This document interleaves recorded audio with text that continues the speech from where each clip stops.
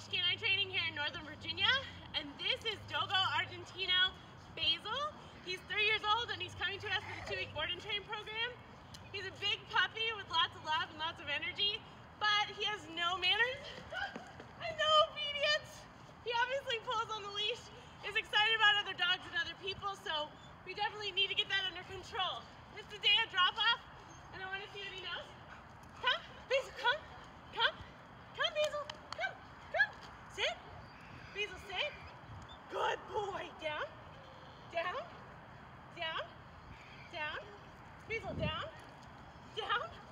Can you heel? Come on, heel.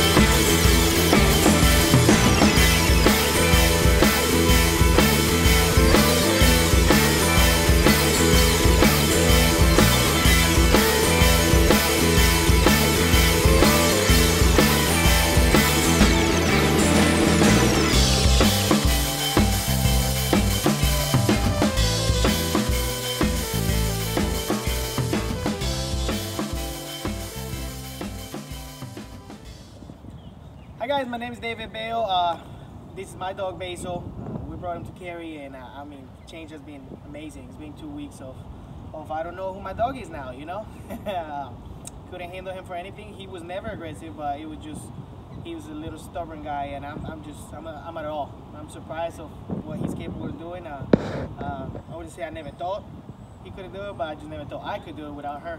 Uh, so thank you so much, Carrie. Uh, it's been amazing, and I just look forward to uh, getting him uh, in the house and putting to work all these